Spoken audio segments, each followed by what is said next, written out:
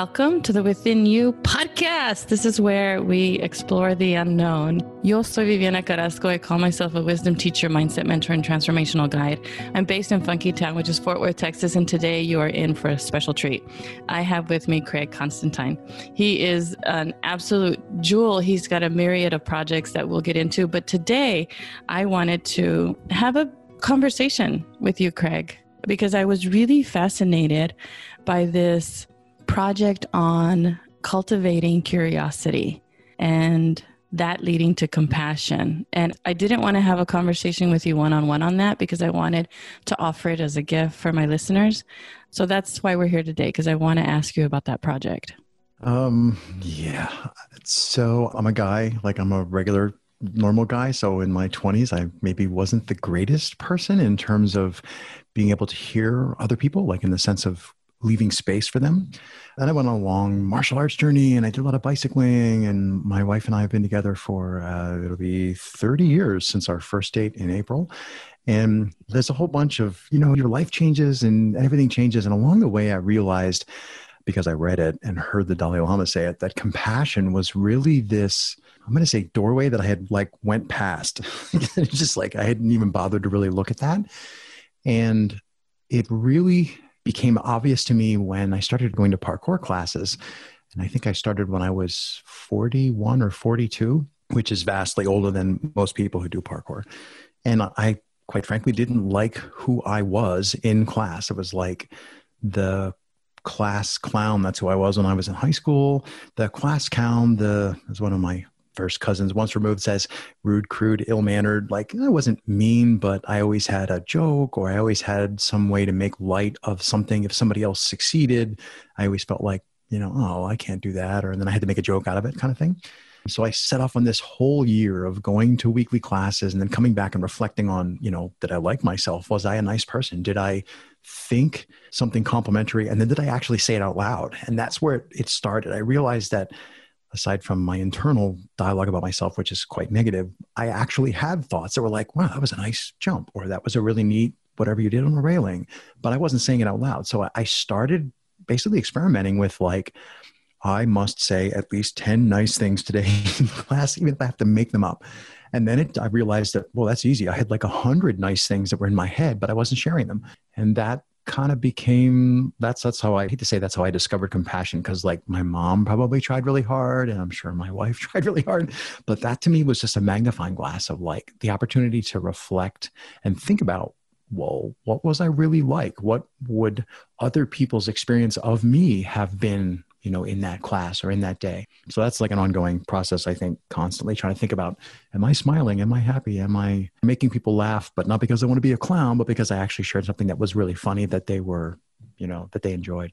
Mm. now you started off with saying i'm a regular guy. Hmm.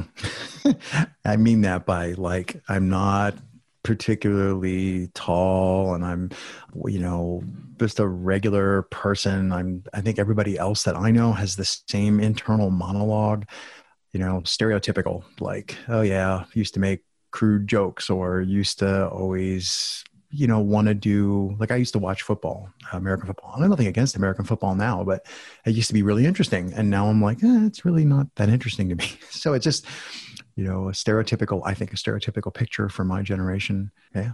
Thank you. And the reason I sort of went down that thought train is because I'm the mother of grown men. And so this idea of being a regular guy has been something that I've lived with for a few decades now. I'm not going to say how old they are. It just makes my, my white hair stand out. but growing up with them and watching them grow up, this idea of that I don't even know how to verbalize this right now. It was very important for them to be to feel like they could be compassionate and that they could be kind. And this idea of being a regular guy was something that they chose. And so I hope that I opened a doorway for them to make those choices as they were being influenced by their peers and by their culture. And I actually believe that in the next hundred years, the idea of what a regular guy is is going to change dramatically. Mm, I would agree, and I would also hope so. I think it's very important that that shift happens. it's that whole thing about like the fish. You don't, if you're a fish, you don't realize you're in water. You know, and the old fish swims by and says, "Morning, fellas, how's the water?" And they're like, "Water? What's that?"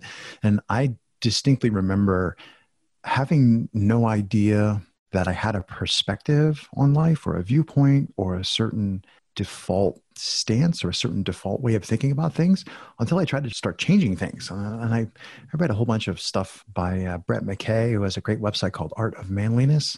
And at first I was like, manliness, what's that? And then I'm like, oh, it's going to be about, you know, hunting or whatever. And no, it starts talking about like, well, what does honor mean? And, and what are rites of passage? And who are you, dear reader Craig? Who are your role models? And I went, oh, that's a really good question. I don't know if I have any role models. Oh, wait, they're movie stars. Wait, that's completely fictional.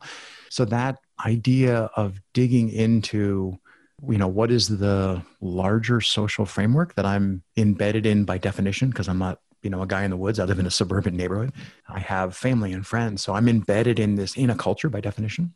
So i think that well, that's just my personal journey. And i think everybody these guys would definitely have to go through some personal journey. It could be very short meaning you don't progress very far not short in years but it could be a short journey it could be a long journey it could be a complex journey lots of detours and i think that there's the idea of role models is really become important that I see people, young men, and I'm not going to say, oh, people who are 20 are millennials, but I see young men. I'm like, you clearly need a role model. and, and you think it's your phone at the moment, and you just don't realize that there's this whole aspect of life that you're missing. And then I go, yeah, but I was like that too at that age. So, you know, this too shall pass. You said until I started trying to change things, and you mentioned your personal journey. In addition to that parkour experience, you know, and seeing yourself and how you showed up in that class, was there something on the outside that launched you in this idea of, I'm going to do air quotes here, trying to change? I think. I don't know that I can separate the catalyst, which I think is literally, and I actually have the story. I don't know if it's worth telling, but the story of the very first parkour class I ever went to, I remember it vividly. And I don't think I can separate that catalyst because that was the catalyst. I went to the class, realized I was an out of shape pile of bacon, and that all of my ego was a complete facade. And we're like, oh boy. I don't know if I can separate that catalyst that kickstarted the change from the need and the desire to change. I think the need and the desire, well, it had to be there before the catalyst could work, but I don't know how long it had been there. I'm thinking it had been there a really long time because there were a lot of things that I went, like hobbies, that I went back to I want to say after I changed because the change is ongoing, but after the big shift started happening, I went back to things like bicycling and actually took up outdoor rock climbing, like, you know, in, in real, I don't mean to, to denigrate gym climbing, but outdoor rock climbing, like, you know, on real mountains. I like learned to do that and I still do that. And all these things that I think would have been testosterone driven pursuits for me previously, I went back to them and it's like, oh, look, you can find meditative, contemplative depth in any hobby. Oh, look at that. Awesome. So to me, I think the calling or the opportunity for change or then maybe the need for change has always been there. I, I, feel like that need for change, that's what it means to be human, maybe. So I think it was just finally there was enough things piled up on the one side that when I got the right catalyst, then I don't know, the dam burst maybe, or the tiny little dam sprung a leak, maybe a better way to put it. There's a tipping point. Do you feel like it had to do with your age? Well, certainly factored in, but I probably started really doing the hard shoveling. I love the metaphor of digging a ditch. I think I started the hard shoveling right after college. I came out of, I went through undergraduate school and then I actually went into the graduate program, passed the GREs, got accepted. I was working on a physics PhD and I was like, went a whole like year and a half and then dropped out, which they don't like and went into business. So there was this huge like life change. And I would have been maybe 22 or 23 at the time. So this like from 23 to like 30 something was when like all of this real big change, the, the sea change started. So age was certainly a factor. I don't think I could have changed who I was in that same way when I was 16. But I don't think there was like, oh, I turned 35 and I hit, you know, decided to have my midlife crisis early kind of thing. I don't think it was that dependent on age in that way. Mm. So I'm like trying to gather my brain because you said PhD in physics. What the heck? oh my gosh. Sorry. I usually skip over that. I didn't know you were that smart. Now I knew you were smart, but oh my. I mean, I didn't get one, but I started on it. I took all the graduate, I started taking graduate courses. And... Oh, wow. I love school. I absolutely love school. I was mourning when I got my doctorate because I thought it was a terminal degree and I'd have to stop. But then mm-hmm. I realized that learning can be lifelong and I was just accepted it. I'm like always going to be a student geek. Well, I, I, mean, you and I are close enough in age. Like, I mean, when we grew up, there were, you know, be home before the street lights are on. Except where I grew up, there weren't any street lights. you know, be home before the street lights come on. That, you know, like, you know, ah, you hurt yourself, rub some dirt on it, get back in the game kind of thing. That was a way. And I mean, even when I started my business journey begins on the internet with businesses that I was part of creating we used to go to the library, like drive to the physical library to look up a book because we had a math question for something we were trying to program. And it's like, I don't know, go look at it. You need a book. So the idea today, when you or I say, yeah, continuous learning, like that was actually something I discovered, like for myself. Like now it's, yeah, it's obvious. You need to know something, you just pull a matrix, pull up the code, load the thing in, read the book, go online, take the class, jump on a Zillow meeting, whatever now it's um, Zillow wrong. That's real estate. Jump on a Zoom meeting. you know, that's such an obvious thing. And I remember that no, you had to get accepted. You had to pass the GRE or you weren't in the program. And only then did you get access to the knowledge. So I think it's much better now that you can.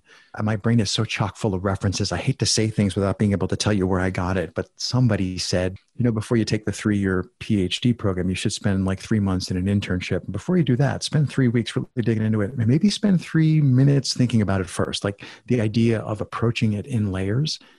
Mm-hmm. And I don't know about you, but when I decided I'm going to go from undergraduate into the PhD program, that was like you know, there's a line here, and on this side of the line, I'm not. And on this side of the line, when I sign this paper, I am. That's a huge commitment.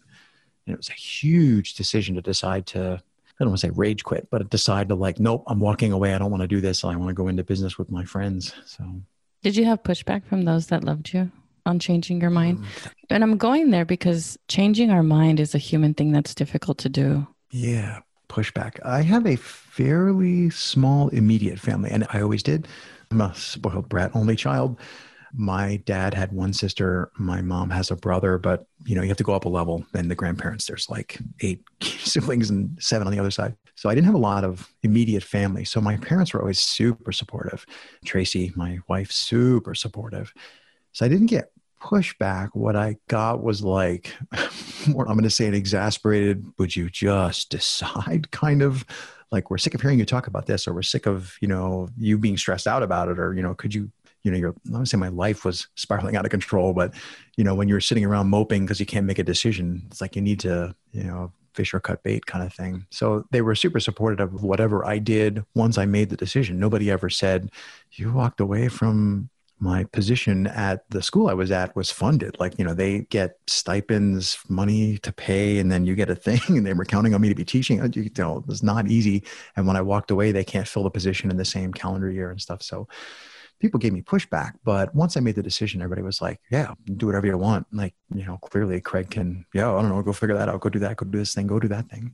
So there was definitely a support network. And that's also something that I wasn't aware of was the amount of support that I had. Like I went to school half hour from you know where I grew up, so like I could go home on weekends, or if I dropped out of school, I wasn't going to be living on the street, kind of thing. We're recording this at the end of 2020, which has been I don't even know how to describe this year.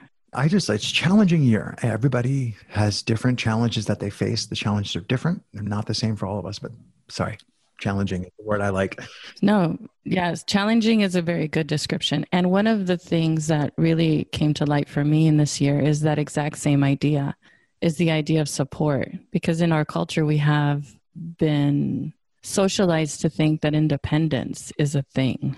Mm, yes. So, my hope is that others that are out there are also kind of taking that lesson and looking at instead of maybe, in addition to, I hate to give advice. I agree, yes.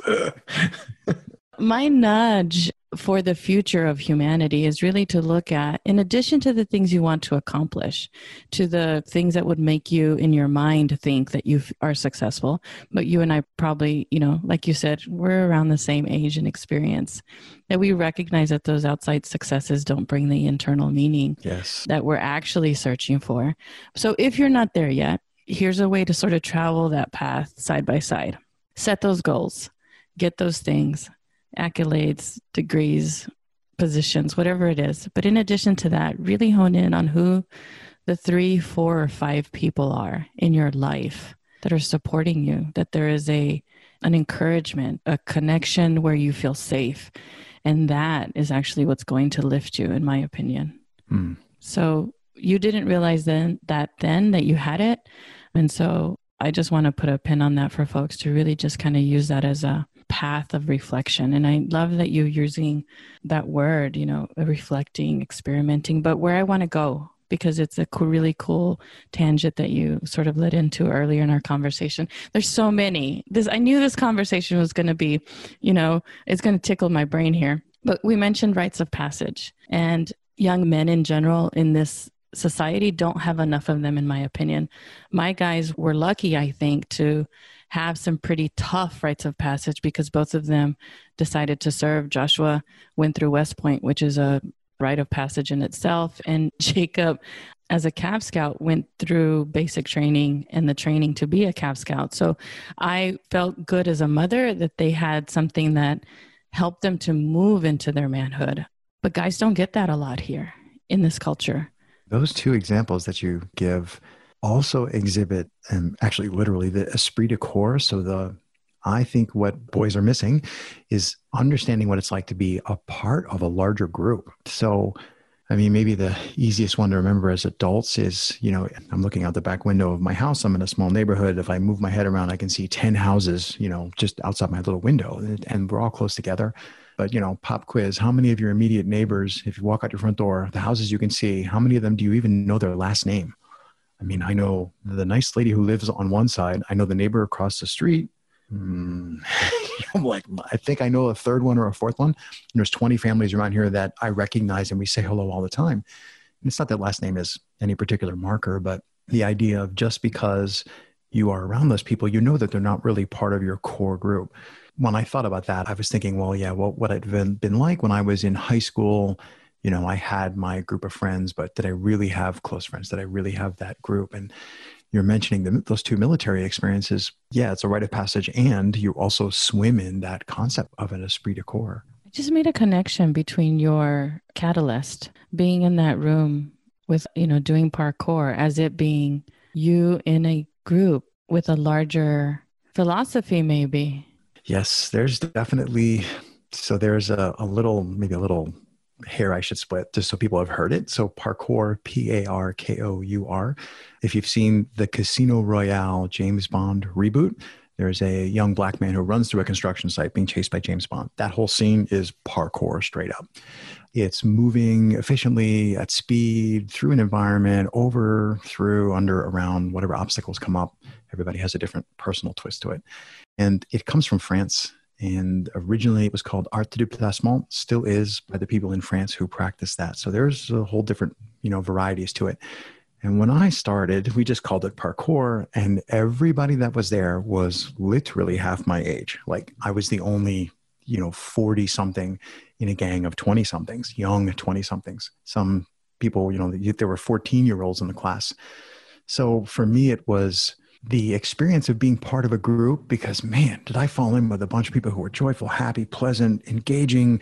You know they were like yeah welcome join the group. I wasn't like the old guy or the fat guy. I was just craig. So there was that esprit de corps but for me it was so jarring to be welcomed into a space that was completely full of people that i wouldn't normally call my group I happened to start with a group that was 50% women. That's not normal. Parkour tends to be a little bit of a testosterone thing, only for the people who don't actually understand that. If you start training, you realize pretty quick that's the wrong attitude and it doesn't survive. But it, a lot of times it's heavily men, you know, maybe one woman out of 10 people there. But our group was mixed gender. So I was like, wow, this is not, you know, like this is not the football group. This is not the soccer group. This is not my physics group, even. It was just a whole different space so part of the change for me, part of that catalyst that I mentioned before was you showed up with a whole bunch of preconceived notions about who I was and how I was going to move and how I was going to act. And none of that made any sense. It was like, this doesn't fit. It was like taking off hats. It's like, whoa, that's get rid of that. This doesn't even work here. so I was super lucky that I, you know, fell in with a group that I did. Well, and that you approached this idea of this doesn't make sense as a way to and I'm putting words in your mouth, so I want to ask you when something doesn't make sense, it sounds like the way that you approach that experience is let me dive into this. Let me see what's happening here. Because I imagine that this year is not making a lot of sense to a lot of people. And that unsettling, because the unknown, I open with here's where we explore the unknown. It is no joke to have uncertainty as your floor and recognize that. Yeah, untethered, like it's a very untethered feeling, vertiginous, if you want to trot out great English words. And uh, if you've ever gotten like gotten dizzy and gotten vertigo, it's not just, oh, I'm dizzy. It's like your entire universe shrinks to that feeling of being unhooked, being unbalanced. What I want to highlight is the way that you approached or how you dealt with that uncertainty, that chaos, that who am I here? Is this who I want to be? To me, it was just curiosity. And again, I collect quotes, but somebody said, I want to say Eleanor Roosevelt, but it's not. It's definitely a woman. But anyway, the cure for boredom is curiosity, and there's no cure for curiosity. And that's like, that should go on my tombstone because I am, I'm just incessantly curious to a fault. And you might think, oh, how can it be bad? Oh, it's just, I cannot stop my brain from wondering, you know, six whys deep on every single thing why did I stub my toe on that step? or like, why can't I follow these people around the playground running? Or why can't I? Yeah, why can't I do that? Humans should be mm-hmm. able to hang from their arms. I mean, you know, all these whys. And if you once you get the curiosity bug, I think everything else will, in my opinion, everything else will bootstrap because you'll just keep asking yourself why, why, why, why, why until you dig into those answers. And unless there's some external framework that's holding you back, and that could be anything, that could be dogma, that could be relationships, that could be your initial game. I'm not a big gamer, but your initial playing conditions. Are you playing life on easy mode or hard mode? Where are you in the world? Where did you start? There can be all these external things um, which will make your transformation harder or easier. I got to play on easy mode. My parents weren't, well, what do you say when one is alive and one is dead? My parents weren't rich, but, you know, we certainly didn't struggle for money. My parents paid for my college education. So you know, I was playing on easy mode, but still, it's the curiosity that pulled me forward or pulled me through all those changes. Like something would happen, and I'd be like, well, that's interesting. And the other thing I tell everybody is journal, journal, journal, journal. So if you do one thing, just start writing your thoughts down. I don't care how you journal, what you journal, what you write in, start journaling because now you can look back. And I do this every morning. I open up previous years and I'm like, this morning I'm reading what I was doing nine years ago and I'm laughing like, oh man, I was having a hissy fit about, bup, bup, bup, that's not even a thing that we own anymore. You know, like, so journaling was a power tool for me to go every time I, why, why, why, why, my curiosity.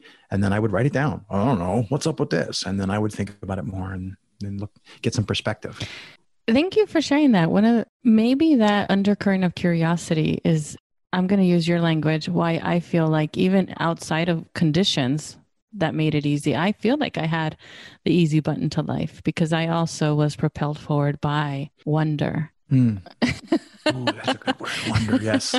That's like a close kissing cousin to curious because when I go, I'm curious, what I really mean is I wonder. And exactly. And I tell this story often, but my children were my teachers. They were my ninja mind, mm-hmm. right? And I would wonder why one would unpeel an orange differently than the other. And I would just sort of watch them. So, curiosity, yes. So, what about folks that don't have it and want to cultivate it? I knew you were going to ask me that. Every time I talk about curiosity, I'm like, oh, I'm setting myself up for this. right in that. So first, I'm going to push back and say everybody. I was going to say everybody who has agency. So you know, if you are a person and you have agency, you have the ability to like decide what you put on or what you eat. Then you have curiosity. You can't. It's part of how your brain works. That your mind wants to create stories that explain the world, and the only way you can do that is to ask why. So the only real question for me is do you do that on purpose or do you just like let it happen automatically and ignore it? And I think, no, like going on a limb here, I think for me, the gateway drug was I never shut up. I talk all the time. This is, I have it intentionally stuffed down in first gear here for you today. Otherwise, I just go a million miles an hour. And I started explaining things to people. And I mean, like in elementary school, people would say, like, why is it? And I would just like, oh, it's because this is this, this. And then sometimes my explanations didn't make sense. And then I would go, like, yeah, I want to do a better job of telling that story. And that forced me to, well, can you make the story shorter? Can you make it more cohesive? And more recently, when now that I've started doing podcasts, I've started thinking what story is useful to share for the person I'm talking to, like, you know, on the recording and for the people who are listening. Like, should I tell that story or would telling this other story work better? Or if I take the real story and cut it in half and make it really be fictitious, but would that be better? So I think everybody has curiosity, everybody creates stories. And I think if you just pay attention to that, and again, like journal, you know, what about that experience you had yesterday was so bad? And I don't mean that like in a, I'm telling you it wasn't bad. I'm just saying, like, write down what about it was horrible. And to write it down, you're going to have to write a story. And that it's just a, I say it's a vicious feedback. It can become the urge to ask why within your own mind, the urge to ask why, the urge to create stories can become a tool that is way too powerful. Like it, I get, you know, stuck in literally, I'll pause and my brain is like running a million miles an hour while I'm thinking about why and creating stories and trying to find what's going on. But that's like the other end of the spectrum. what I want to pull out from that though is is the idea of telling a better story. Yes. You use the word better at least twice telling a better story. And yes, everyone has agency, but we don't recognize our agency. It's something that we have to master. And I use a story that I think I heard. I don't know. I hope I'm quoting the right person. like there's so many things floating in my brain, but Anthony. D- what could possibly go wrong? Exactly. you want that list in alphabetical order or monetary damages order? Anyway, go ahead. Anthony DeMello is a oh goodness. He's a philosopher a catholic priest and in some order i can't remember right now but he's one of my mentors even though he's no longer alive. He tells a story of the rain and the rain is the same whether it falls on the marshes or on he says something else. And the way that i translated that into my life is the rain is the same. It depends on the story i'm telling about the rain. So am i walking out am i looking at the rain and cursing it because i had planned a picnic that afternoon or am I looking at the rain and being grateful for it because I planted a garden that needs water? So the reality of our lives remains the same, but we tell a story. And what I want to reflect back to my listeners is are you telling the better story? What is the story you're telling? Are you telling the better story? And this idea of reflecting to just see what story you're telling. I just wanted to rewind that for folks because even though you used can you choose your own clothes? That's a tangent of my life that may seem very simple but i've struggled with as a woman. I have on my uniform which is totally black. It's a good point.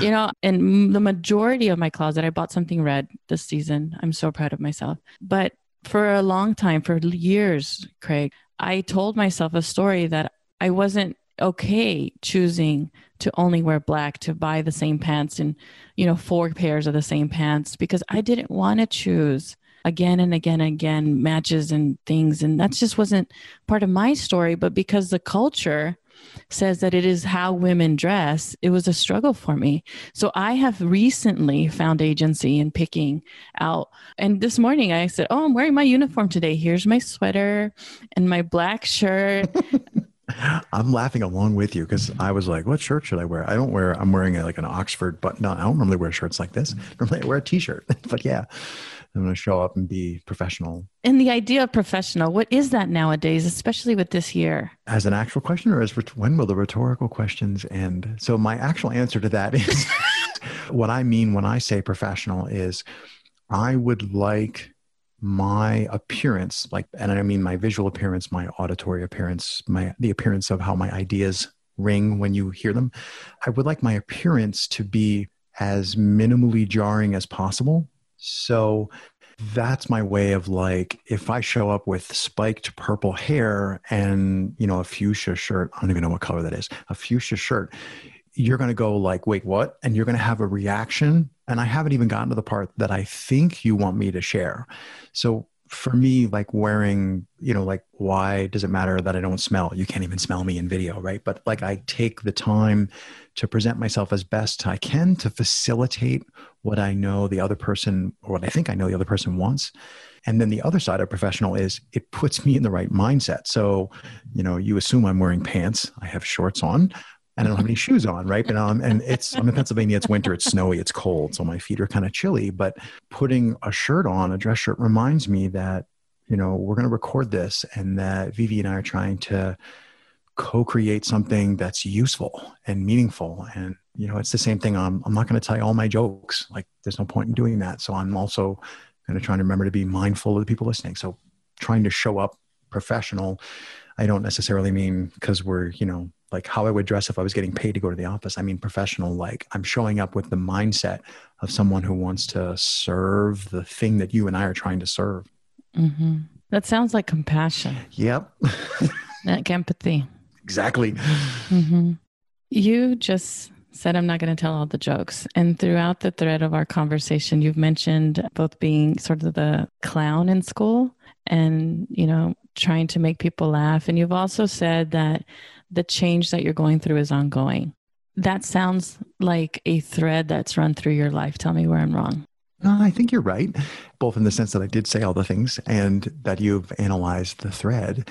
I think so. The obvious analysis is I was a class clown because I had self esteem issues. That's like the obvious, but I'm going, I don't really feel like I had like I came from a stable home. My parents were, you know, both loving. Like it, it isn't like I come from a broken home.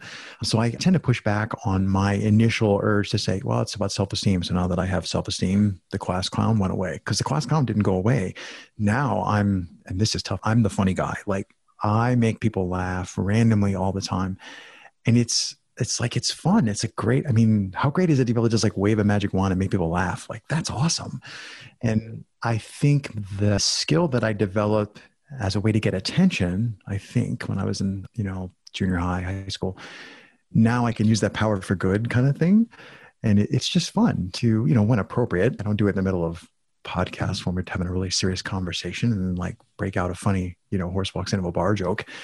But I really enjoy I love when people laugh. I love seeing people laugh and crack up, especially if they weren't expecting to be having fun that way. So Anne Lamott says that laughter is holy. And I love laughter because it, our brain, you and I mention our brains a lot. Our brain cannot laugh and be angry at the same time. It's like a switch. So if you're laughing, you've left whatever emotion was there instead. And you then you choose to go back to that emotion after the laughter. So I love laughter. And I guess what I'm saying is that skill that you've developed, first of being the class clown and now of interjecting interjecting laughter into people's lives, it's a double-edged sword. And I'm just putting a pin on that for us to look at what is it that we kind of didn't like about ourselves or you know didn't realize, didn't reflect on, didn't have awareness around that has now become a very integral part of our toolbox and who we are and how we contribute to the world. Yeah, I'm nodding vigorously. Everybody can see that, right? and my um, shtick isn't all about compassion. That's not the thing that I'm always yammering about.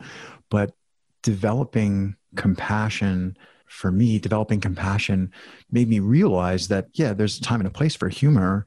And if I'm deploying humor because I want to shift, whether or not I intend this to be the case, but because I want to shift the attention to me, that's not a good thing. I mean, I have actually been in situations where I've done that to diffuse physically dangerous situations, like deploy laughter. You know, not in that sense. I'm talking about the sense of like, here's people having some sort of engagement, and then I want to just interject myself to make them all laugh so they pay attention to me. That's not good. That's not compassionate. That's not me being mindful of like having some intention, like, why am I opening my mouth? Was it Lincoln who said, fools talk because they have to say something? And wise men, it's like, talk because they have something to say. It's like a little grammatical twist. So that it, my ability to now pay attention to when I use humor, that's totally standing on top of having the ability to be compassionate. So, talking and listening. What is great listening? Great listening? I think that's a that's a really good question because i am total like conversation is my crack. Like i'm just all over that. And i think that what it means to be a good listener is going to change like really significantly change depending on what is going on. So if you're trying to my mind is racing through like all these stories of examples that i've experienced but if you're in a situation where, like, I had a situation in a parking lot where I entered into a physical, what was about to become a physical altercation between somebody in a car who was pissed off about parking and some nice volunteer who was trying to coordinate a bunch of people doing parking in a big field. And they were having a screaming match to beat all the only thing that could have gotten worse that day was when he was about to get out of the car. This is pennsylvania. Who knows if he's carrying a fire i don't know what's going on. So in that sense i showed up and to me good listening was where is the hook in what they're saying that gives me the ability to grab the attention of the two of them and get the attention on me? Because the only way to diffuse that situation is to get them to focus on something other than each other. So in that sense good listening was i'm literally just listening to grammar and words and i'm trying to find a place to insert myself. And then there i mean that's a very rare very hyperbolic very overinflated example. But in more common conversations listening can a good listener is someone who is trying to remember why they started the conversation. So, why did you begin talking, you know, in whatever the context is? Maybe you were trying to deliver a message or you're trying to help. So, a good listener is somebody who can hold on to that initial intention. And that might require, as I call it, jujitsu skills, you know, like language jujitsu to keep the other person like coming with you on that intention journey. But good listening can also be just being present. Like have a conversation with someone. I have no you know i still have an intention. I have no intention of trying to change you or physically help you. I'm just there to see you just you know to be someone who says i see you. I may not literally to say the words i see you but to just demonstrate that by being present then that's a good listener. You're literally just using your ears. So i think it changes a lot. And i think if i if you would ask me that a year ago, eight months ago, I'd have been like, I don't know. But I've spent a lot of time thinking about that recently. So I think listening gets a bad rap. I talk about that sometimes because I'm super into conversation, and listening is a skill that I know I never spent specific time on, uh, like learning how to listen. And the more that I practice listening, the more that I realize there's all these different, it's a skill. There's different use cases, there's different things you can do with it lot there. Yes, I just want to say yes. And I want to loop back around to when you said conversation is your crack. And that in that story, you're really focused on the grammar and words. And if you look at the word conversation, it is a form of conversion. Mm-hmm. So, are we not trying to change each other when we're having conversations? I think, and we certainly could be. Uh, you know, you could certainly have that as your overt to yourself intention. But I think, I should say, at least all the conversations that I'm really drawn to, neither of the two or n people are interested in trying to change the other, but the change happens.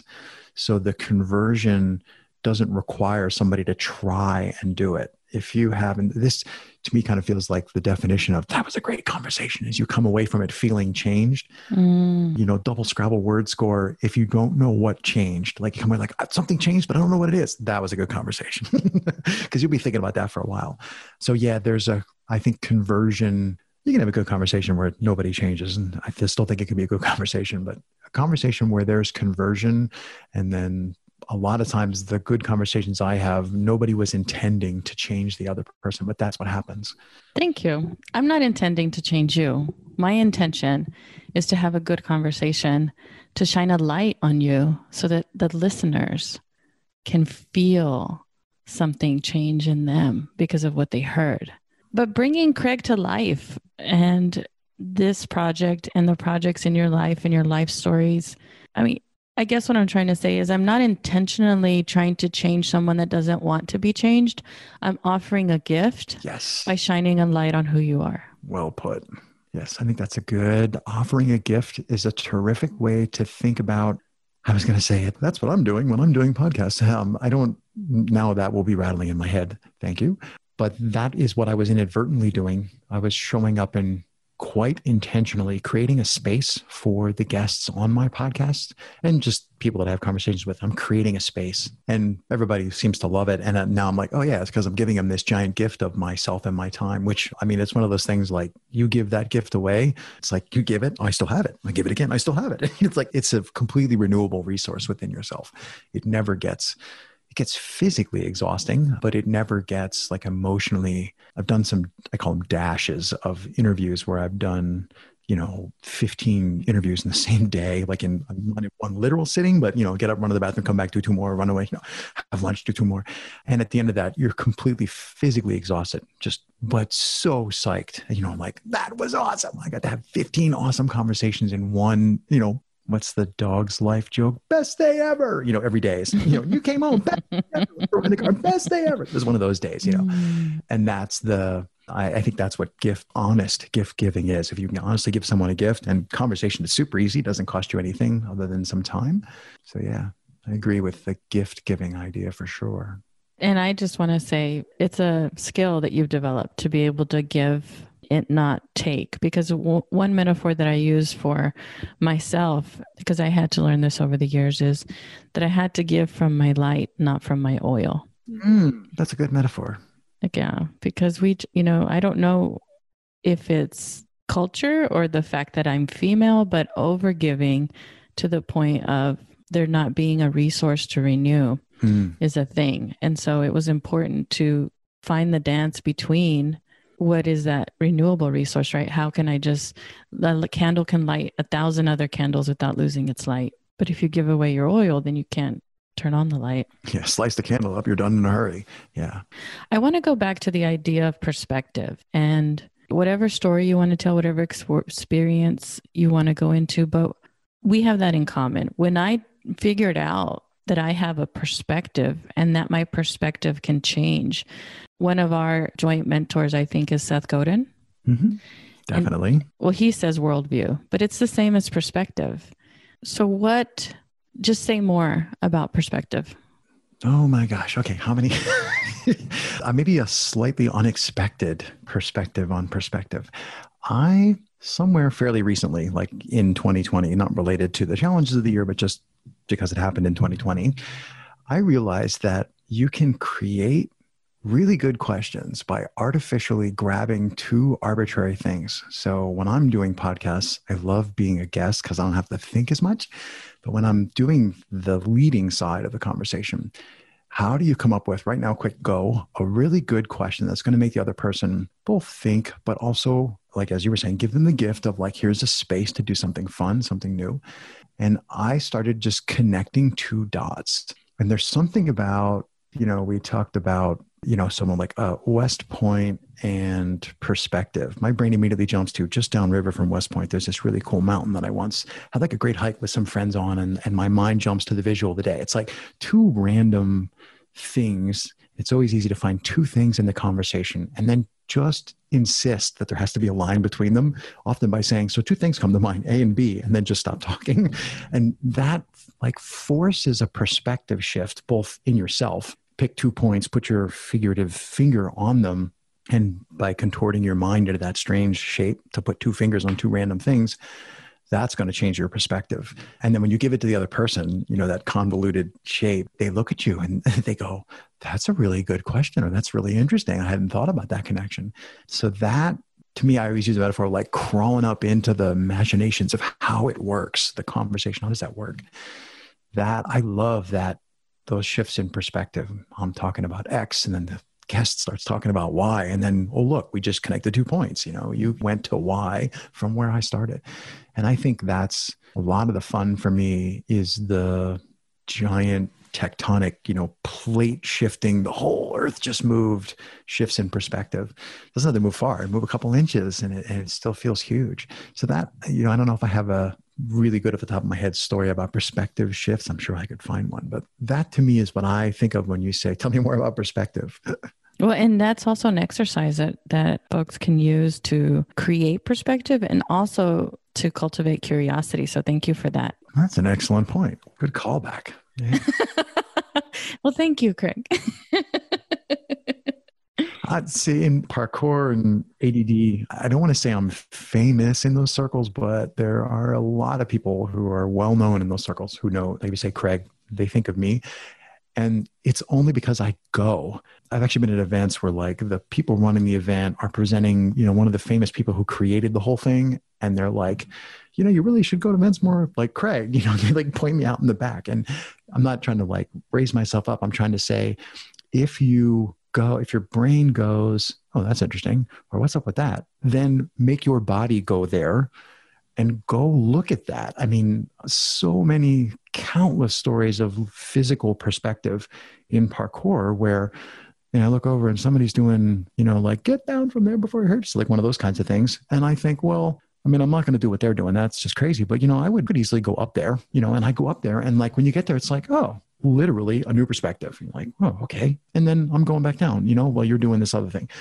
So the shifts in perspective in your mind are only one part of it. If you physically move yourself to another place, the astronauts say, you go to space, you look down, you come back, you're different. Like that's it. Your whole life is different. you can't, can't help it. The perspective is so patently obvious. Uh, so shifts in mental perspective are really great, but I think shifts in physical perspective are just as awesome. You know, like how far are your eyes off the floor? You know, mine are five foot something, five foot six or so you know, that's my perspective on the world. Like, you know, go down on your hands and knees and look at it from baby's point of view for a while. It's like every once in a while, like, Tracy is much smaller than me and lighter. I can pick her up.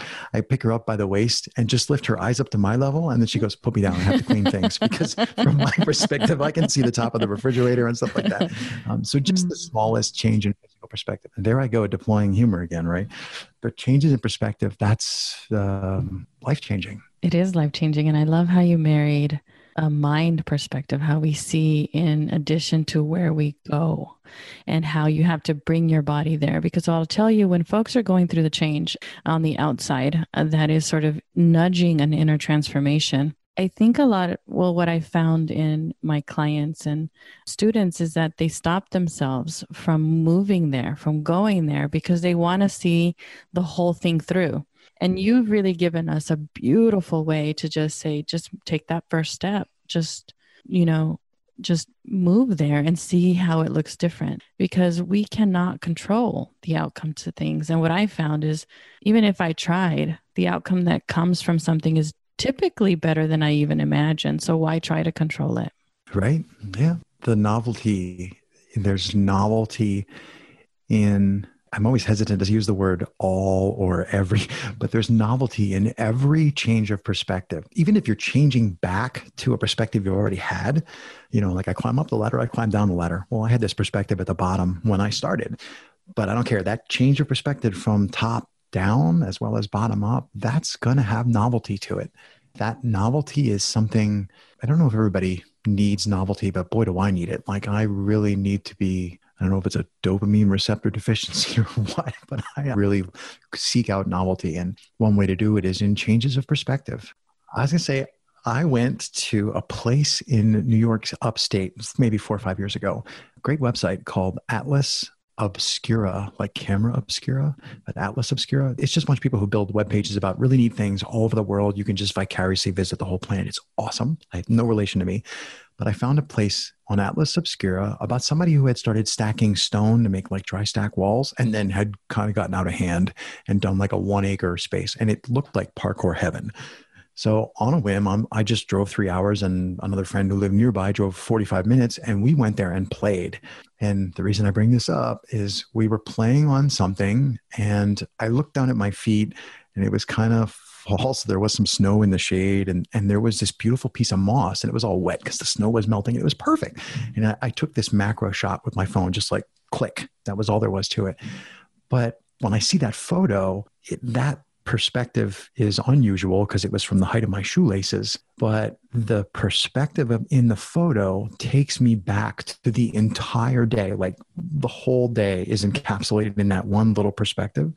So even though I only had to lean down briefly to take the photo, I like went to the perspective and then was able to capture it and then came back out. And that that was like life changing. Just that one little it's a photo of moss, Craig, on a rock, you know.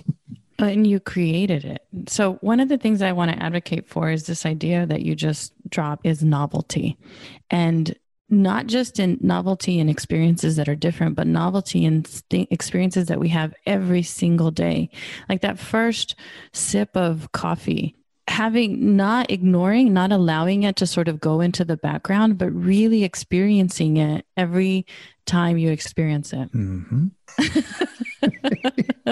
Coffee's another problem I have. Yeah. I love coffee. I absolutely love coffee. But the I if change feels hard for us, I am a student of change. So I graduated a couple of levels. I don't know how many. But if someone's at the beginning of change and it feels difficult to let something go and move on to the next thing, which is this transition, this transformation well, just moving through, even walking out of one room into another, you have to let something go before you can go on to something new. I believe that novelty and developing your sense of novelty can help you move through those shifts. Oh, yeah. Yeah, you, not you specifically, one might, sometimes I think English is a little anemic on some of its pronouns, but one can develop your perceptions as like a, a lever to make perspective easier to detect. So I think it's called sit spotting, S I T S P O T T I N G. Um, so if you do sit spotting, which I totally recommend, just like go sit somewhere and preferably somewhere where you, you know, maybe people aren't going to bother you or, you know, not in the middle of the street, but sit on a bench or sit on a rock somewhere and just go there periodically every couple days, every day, whatever, and sit in the same spot and just observe. Like, oh, there goes a gray squirrel. Hmm. I wonder what kind of tree that is, you know, and you know, what bird call was that? Just observe and not trying to judge, not trying to really remember, just sit there and spot. And that's a way to practice being observant. If your observation skills get really good, it's really hard to for them to not turn into self observation skills, which is super useful. But just developing your observation will then make it really easy for you to notice perspective changes. And I, I don't mean like, you know, geometric, my head's an inch lower, higher. I mean, if I'm super aware of like, oh, it is just so gorgeous to sit here in the sun today. And then the next day you come back and you're like, this is comfortable. But I mean, yesterday was really gorgeous. This is nice. Then you're going to notice how you feel in a different place. Like, I don't know, I'm feeling kind of wigged out why am I nervous or what's going on here? Why are my spidey senses tingling in this situation? So that observation, you really can't be good at detecting perspective and enjoying perspective shifts if you don't have observation skills. Everybody has some level of observation skills, but you can really I've talked to some people who really have it dialed in.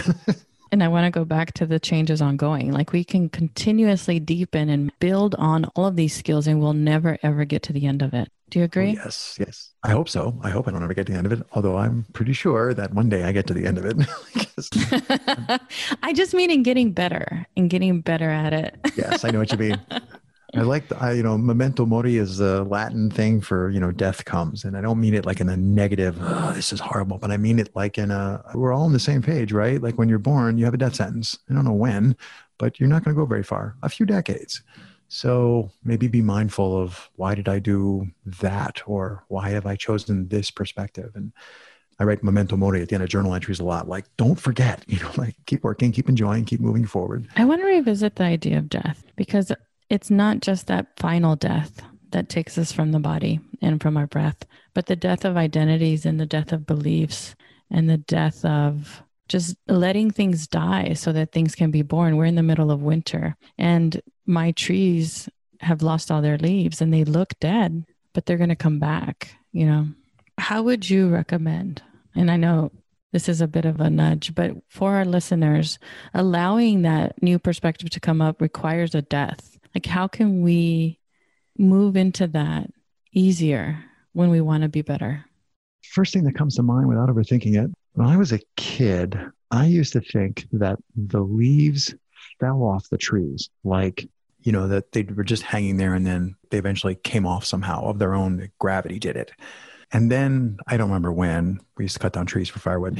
We had a tree that died and the leaves didn't fall off of it and then which we cut it down and then realized that not only the leaves not fall off of it at the end of the season they were actually quite stuck they were still part of the tree and then it it occurred to me i'm like oh yeah wait a minute the leaves are on stems and we know that that's really connected they're part of the tree they're not like these appendages that are like a shoe that the tree wears they're part of the tree so, in order for the tree to get rid of them, the tree has to actually fundamentally change. And I've never looked into how it really works, but it must have to create a membrane and, you know, okay, this cell's on that side, this cell's on this side. And then it literally like self amputates those individual leaves one by one. So, I'm not trying to make a very big story out of the tree, but when you talk about making room for change by like having space for these deaths like that's actually how a tree drops its leaves. It literally amputates all of those individual pieces. And i don't feel like i've amputated i mean there's some things i've amputated from my life but you know i had a I used to be really crazy passionate about billiards pool my wife and I, like our courtship was over pool tables in college and stuff. And my grandparents had a really old classic pool table that we remodeled and it was in our house. And we have a tiny house. And this was an enormous pool table, occupied our entire living room. And we just recently passed it on to another family. And if you had told me 10 years ago, because I've read the journal entries, how excited I was to finally have it remodeled and installed in my house. This is awesome. I love it. It's good. Like the culmination of my life's, you know, was to get this table from my grandparents to remodel. And this is an awesome thing. Now, 10 years later, it's gone. And I'm like, yeah, I don't miss it because now I'm sitting in my living room reading or like I'm using the space for other things. It's, you know, it's more of a work area than a living room at the moment. But now the space is being used for other things. So it's exactly the same, this thing that was so integral, so important. And I'm like, meh, you know, like that was fun. I remember it. I have pictures. I enjoyed it, but totally love the space that getting rid of it created. So those are the two things that I think of as leaves and my pool table. that is a beautiful story. And thank you for mentioning that because the tree looked alive, but it was actually dead and you had to cut it down and I'm looking at a giant tree in my backyard, which is kind of dying.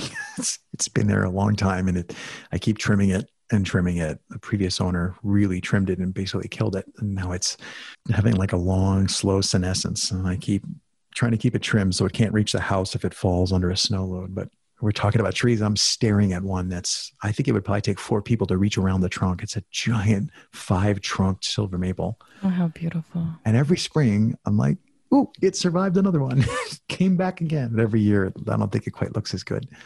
Craig, is there anything you'd like to dive into that we haven't had a chance to talk about? Yeah, I keep having the idea of talking about the medium of audio, but I don't know that I want to force you to geek out a la podcaster. So maybe I'll just say, and I'm I, like I said, I have crippling self talk. So I think my voice sounds terrible. I don't like the way it sounds. But a lot of people say you have a really nice voice. And so if you're listening to Vivi and I talk and you're thinking, these people sound really cool, they sound really good, there's a huge thing that's related to just audio. And by turning off the video, so Vivi and I have our video turned off, so we only hear each other, you are using a, a very old part of your brain. And there's the opportunity for you to hack that so sometimes people will say, I love to listen to maybe classical music. I turn the lights down. I sit in my favorite chair. I sip wine or scotch and I listen to this music and it really transforms me. It's like, if you, that works for you, use that.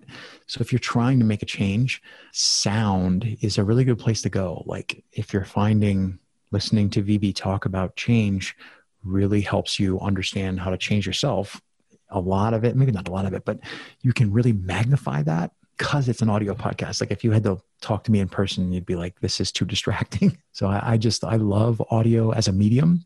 I think that having a guest, having two people talk and have their audio recorded and then listening to it, you as the listener are literally having the same experience that we had. Whereas if you watch a, a video of two people talking in the same space, you're not having anywhere near the same experience that they had in that space. So I love audio as a medium. I think um, music is a great vehicle for catalyzing change and sound and so many podcasts in particular you can choose from to listen to. So that's one thing that I thought about taking the side detour about like audio, audio. I love audio. Let's geek out. I mean, because I agree with you. I it is why following this conversation via only audio, then we're going to switch over to video. But it had to be a switch for me because it is not the same experience. And I feel called to share this. I don't know why, but I have this thing called a, I'm like, Vivian, think about this. I have this thing called a mindfold. And it's like a blindfold that I put over my eyes so that I can develop my sense of sound and the other senses other than my visual, because I learned this from someone in some YouTube channel. But when you open your eyes and you see something, like the brain has to use so much of its energy to yes it's cognitively taxing to visualize to yes. decipher it it's so taxing so closing your eyes. And I think right now I want to just lead our listeners through an exercise. Like if you're driving, absolutely ignore this. Don't do this. You know, don't do this. you know, please just be safe. You know, if you're walking, if you can stand still, just pause and close your eyes and then experience whatever's around you on another level in a different way. And that's what Craig and I have been talking about this whole hour is the opportunity that we have to experience our life and the way we live in another level, in a different way. We have the agency to do that if we just pick it up, but it has to be something that we move into. And so, what else do you want to say about audio? I just that I agree with you. I agree with you. I agree with you. I needed to say that three times. Yeah, it's so prior to 2020, I did all of my podcast interviews in person, and that was sort of my self assigned challenge. And then, not because of COVID, we, we took a season break and then COVID hit. So we're like, oh, we had a bunch of episodes pre recorded. And then for 2020, we haven't been recording in person. But recording in person, I'd have a conversation with somebody. Maybe I didn't even hardly know them at all. We'd sit down, we'd start talking, and we're face to face across the table, favorite, you know, tea, having a chat. There's a third person in the room, an assistant taking notes conversation's mediocre. Like no matter how hard I try, it's like, yeah, I don't really have a lot in common with this person, different generation, different gender, different background, different movement style. Put headphones on though, and like I have, you know, recording equipment on the table. Give them a set of headphones so that all they hear is my voice and their own voice. Like when you hear your own voice in through the headphones mixed, everything changes. And it's we don't exclude, like I don't put like a visual blind between us so we can still see each other you can still reach each other across the table. But by bringing that focus into the audio i always say it's like cheating. People who hear conversations they go how you know not just me but how does that person manage to have such great conversations? Like well first of all we have this superpower called audio we put headphones on and it just brings us each of us everybody in the conversation in and i think one of the most fun experiences i've had in podcasting I interviewed three ladies who run a nonprofit in the parkour movement space, and they're pretty well known in those circles. And I managed to talk them into sitting down. I gave them microphones and then I gave them all headphones. And by this point, there's a whole thing that people go through when you hand them headphones and say, join me in headphone land. But to be in their conversation, because they know each other really well, the three of them just went off in this and just like ah, talking and having fun and laughing and they just sucked me right into the whole thing. I was just like listening along for huge stretches because I was not just in the room with these three ladies who knew each other so well, I was like in their conversation. So if you think back to how many times have you been on the phone with someone, you know, in your extended family and you have that really deep conversation, it's like, why does that work? I mean, phones aren't really that great, but why does it work? It's because it's that you're forced to focus on that you know, this person is in this medium, so I have to listen. And physiologically, listening is a very old part of your brain. So, and that's exactly where I wanted to go. Actually, is to say more about that old part of our brain. All right, I'll tell you. So, I'm not a physiologist or a doctor, like a medical doctor, but the human brain is basically layered. There's older pieces that control like your automatic breathing so that you can breathe while you're asleep. And then there's different parts, and they call it reptilian brain, all these things. And the piece on the front, the last piece, evolutionary to be added, is the storytelling machine part of it. And your hearing, your nerves from your ears go into an older part of your brain. They don't go like your eyes go, your eyes are actually wired to the back of your brain, but that's a fairly new part. But your ears are wired in the old lizard hardware. And I don't tell this story often, but what the hey. When my father passed away, my mother and I, he was at home, and it was uh, in January in Pennsylvania, so it's snowy, very quiet day. And we had been taking turns sitting by his bedside. And the two of us sat down and we're sitting opposite him. He's like, I know, unconscious, not in a coma, but you know, far enough along that he's no longer talking and moving. And he'd been that way for two days. And my mother and I were discussing how much morphine to give him for the evening. So my mother says, Well, we need his pulse. And he was at a point where it's not easy to take a peripheral pulse. So we're talking, and I put my head on his chest to take his pulse by sound. And his heart stopped beating while I was listening. And at the time, I thought, Oh, what are the chances of, I'm counting out loud one, two, three, four. That was the end of the story.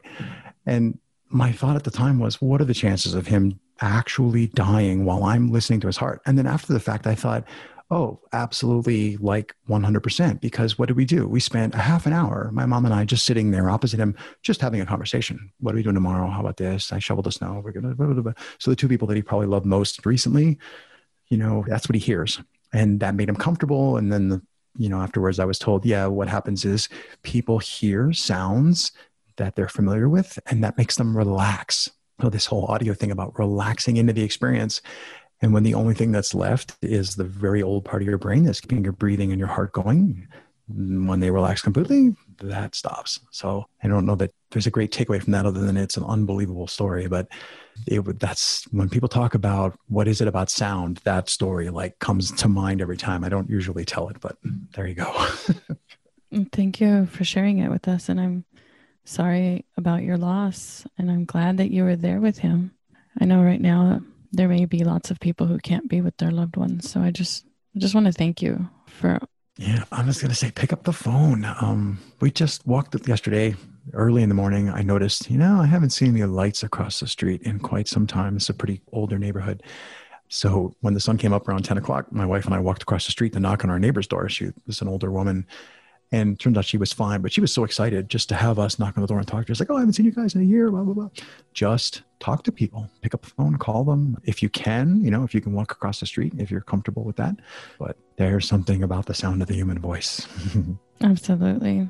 I want to thank you for joining me today in this podcast, in this audio experiment in conversation, in a beautiful conversation. It's been a joy to exchange and go back and forth and sort of do that that dance of listening and curiosity with you.